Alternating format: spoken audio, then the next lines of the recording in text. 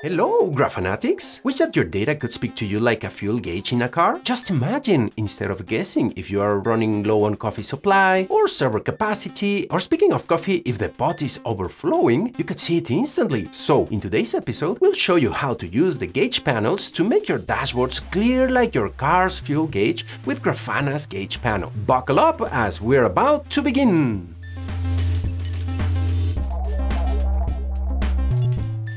Gauges are single-value visualizations that will repeat a gauge for every series, column, or row. This makes them perfect for quickly assessing key metrics at a glance. Whether you are tracking server load, monitoring sales targets, or keeping an eye on network traffic, gauges give you a clear and immediate view of your data's vital signs. So why don't we start creating one to explain these repetitions according to data and the customizations that we can do on them.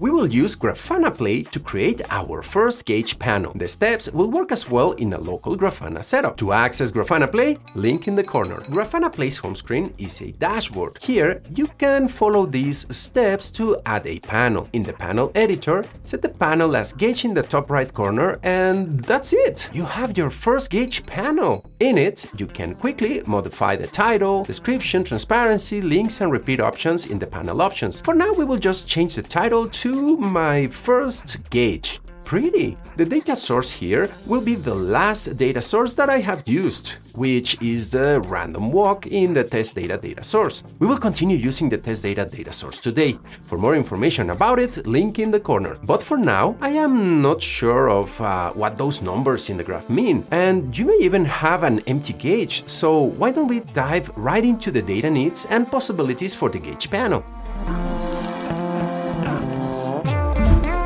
As mentioned earlier, a gauge panel can paint a gauge for every series, column, or row in your data. It can paint every cell in the table returned by your query. So to understand better, down in this video's description is a set of CSVs that we will use today. So let's copy the first one and paste it in the test data data source, selecting the CSV content. The pasted data has two rows, many numeric columns and one text column. Wow! Pasting it makes lots of gauges appear suddenly for each column, but you may have noticed a few things like that just the last row appears or that the text column is skipped or also that the column titles are automatically displayed. Why is that? Well, we will look into those settings in a moment. But back to the display data. With this, you can automatically display multiple readings at once. Another cool thing is that the panel automatically sets the max and minimum values of the gauges from the highest and smallest returned by the query. Let's paste the next CSV set of values and check how they are displayed. Again, all them are available in the video description. Copying the set labeled as just one, you can see only one gauge, cleaner and easier, but the gauge meter is full. Well, that is because it has only one value. Remember, the panel detects max and minimum values automatically from the queried data. In cases like this, you can use a setting that we will see in a moment to define max and minimum. Let's go for the next set of values, the max min included dataset from the CSV included in the description again. Once pasted, you have the value correctly displaying the gauge but you also have the max and minimum values displayed. Not so cool, right? All these things are customizations. So why don't we dive into them and clear up those questions such as why were only the last values on the bottom of the data displayed? Or where were the first ones? Or how to hide the max and minimum values and much more. So let's find out what these customizations are.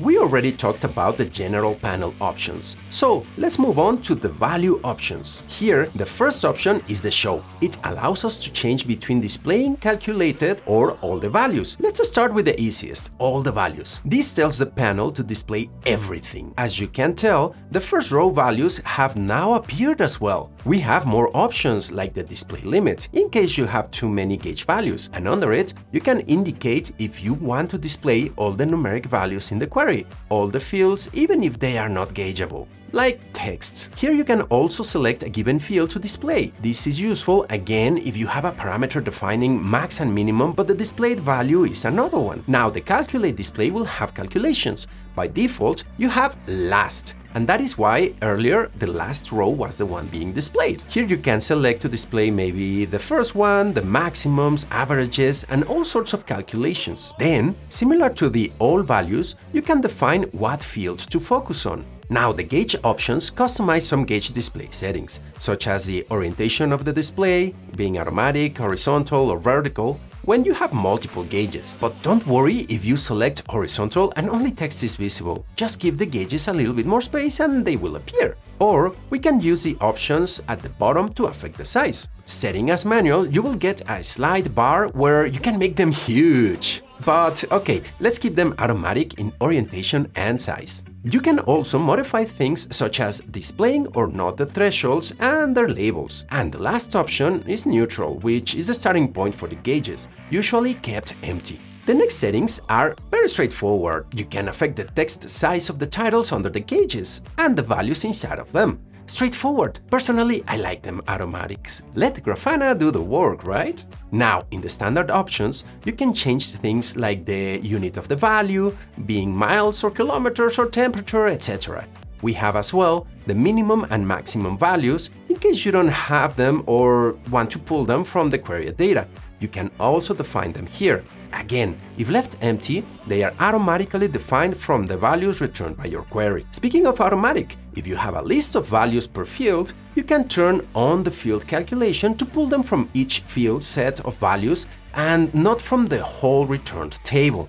Lastly, you can set things like the number of decimals you want, the title displayed under the gauge, the color scheme, and what to display when there are no values. Speaking of the color scheme, gauge colors displayed depend on the thresholds that you define in the last tab of the settings. Clicking Apply will display your new gauge panel, which you can resize and move at will. You can place the panel together with many other panels out there. If you want to learn more, check the videos on screen. But now you can create and customize gauge panels.